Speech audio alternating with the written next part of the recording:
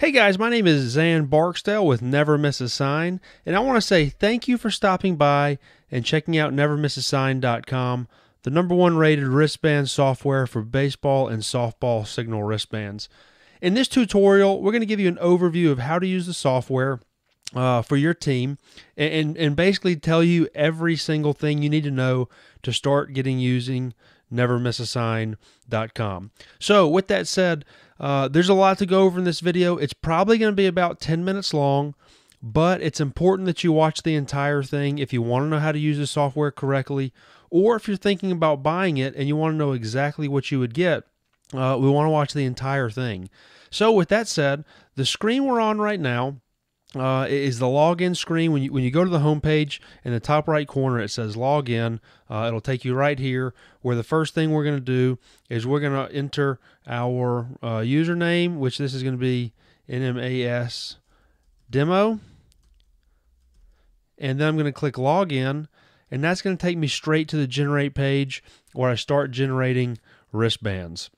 Uh, so if you notice right here, if we were to click play, there, there's a, a, tutorial right here that's just for generating wristbands.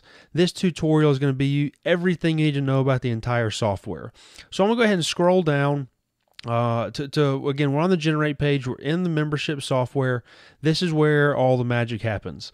So the first thing you'll see is it says generate wristbands and ask for a name. So we're going to go ahead and name our wristbands.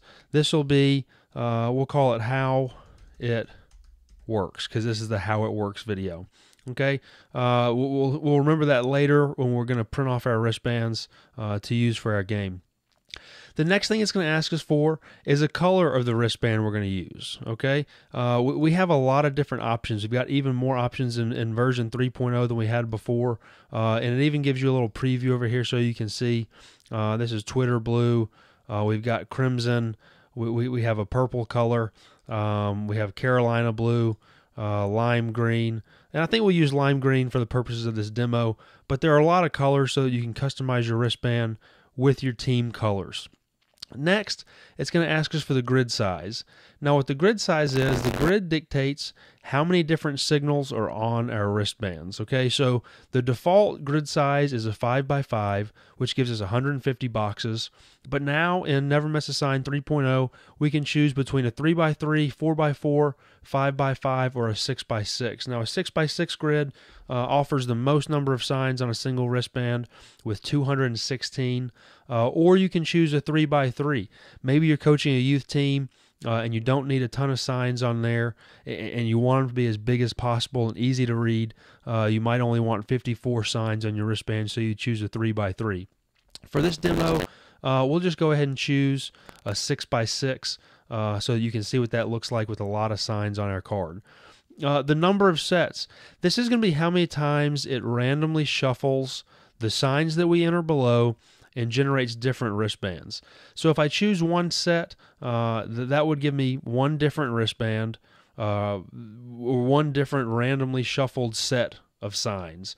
Now, if I wanted to have four different cards or say three different sets uh, that I could switch between, let's say I want to use a one set on a Friday, one set on a Saturday, and one set on a Sunday of a series, I can do that with three different sets.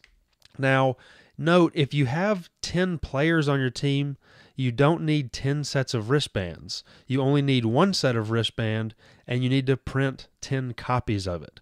Okay, so again, the number of sets dictates how many different wristbands uh, are, are going to be generated based on the signs you enter below.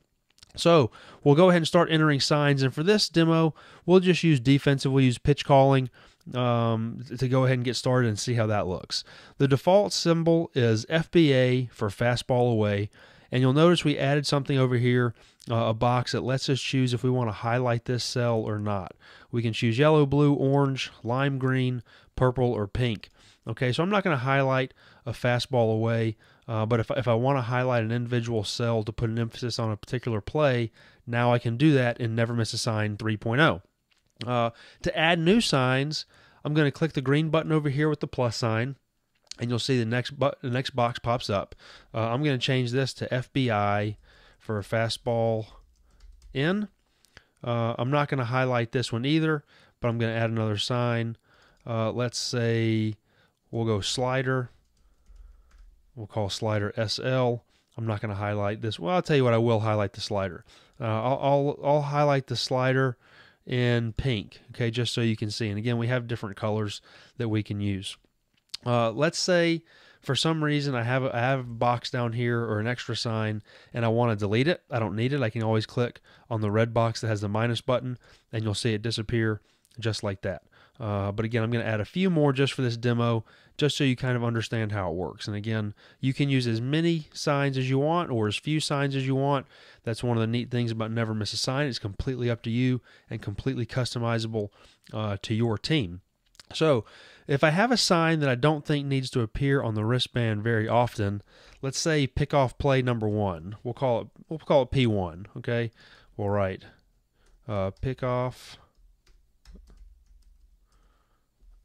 pick off play number one. Okay, uh, let's say I don't need this very often. I'm going to highlight this one too, just so you see. We'll, we'll highlight this in yellow. But there's a slider down here, um, and you notice underneath it shows me about how many times this sign is going to show up on our wristband. I don't need to pick off play number one to show up 54 times, which is the same as all my other pitches. So I'm going to move this slider to the left, and then you'll notice uh, it's going to show up much uh, much less frequently. So it's going to show up 6.54% of the time, or about 14 times total. So for the the signs that you use infrequently, I'd suggest moving the slider down. Uh, so another sign that that I wouldn't need very many of, we'll call it a pitch out. We'll call it uh, PO. I'm not going to highlight it, but I am going to move the slider down uh, so that I only get it a few times on my card. Um, and I'm going to add one more sign. Uh, let's say, let's say our guy throws a knuckleball. Okay, we'll call it KB. Okay, and I'll highlight this one in blue just so you can see. So again, if we go back up, you can see on a few of them, I've moved the slider around to change the number of times it shows up on the card. Uh, I, have highlighted a few different ones. Knuckleball is going to be highlighted in blue. Uh, pick off play number one is going to be highlighted in yellow and our slider is going to be highlighted in pink. So again, there's a few new features uh, that are Never Miss a Sign 3.0 that haven't been in the previous versions. Uh, so it's a little bit different, but it's also a very similar look uh, as before. So what I'll do next is I'll go ahead and click the Submit button, and this will take us to the Manage page. Now in the Manage page, all the wristbands that we've generated are going to show up right here. Now, I, I ran a test earlier. Uh, it's called Never Miss a Sign 3.0 test number two. Uh, right here, you can see it. And this is the one we just generated called How It Works.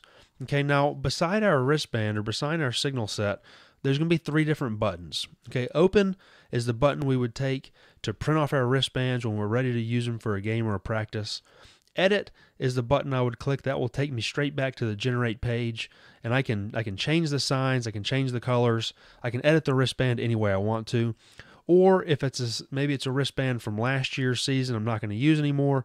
I can click delete uh, and get rid of it and delete it from my database. Now, once you delete it from your database, it's gone for good. So make sure uh, that, that if you if you press delete, you really don't need it anymore. So again, for this tutorial, uh, we'll go ahead and click open so we can look at the player wristband uh, and the coach wristband. Uh, I'll slide down here. Um, and, and, and, you'll notice a couple things. We can manually enter the height and width of the wristband to fit in our wrist coaches. And if you notice over here on the right, there's a new picture, a new image. Uh, now at Never Miss a Sign, we sell the wristbands in six different colors. We have black, navy, green, orange, red, and white. So if you want to buy a youth or adult wristband, you can buy them by clicking uh, right here. Again, there's two different sizes uh, and six different colors. Uh, another thing you'll notice over here, one of the most requested features that people wanted us to add was being able to print multiple player cards per sheet. Uh, so people were using a lot of paper if they were using it for the entire team. Um, now you can print off multiple player cards on one sheet of paper. And, and, the number of player cards that print per page is determined by the size of your card. Okay, so if we have a really large card, which I don't think anybody's going to have one that's four by six, Uh, but but imagine we did. You see this number changes down here to two, and again, four by six would be really big. That would be really large. Uh, I don't think there's any wristbands that would fit a card that big. Uh, but you see, it, it only fits two of them per page. Okay, so but if I wanted to go back up here and change it to a much smaller size, uh, let's say the width is 2.75 and the height is 1.9. Okay, that's going to print three per page. Uh, so again, the fewer, the smaller the wristbands that we use, um, we will be able to print more per page. And the larger the wristband, we'll be able to print fewer, but we can definitely print more than one per page now. Now, again, we have two options here.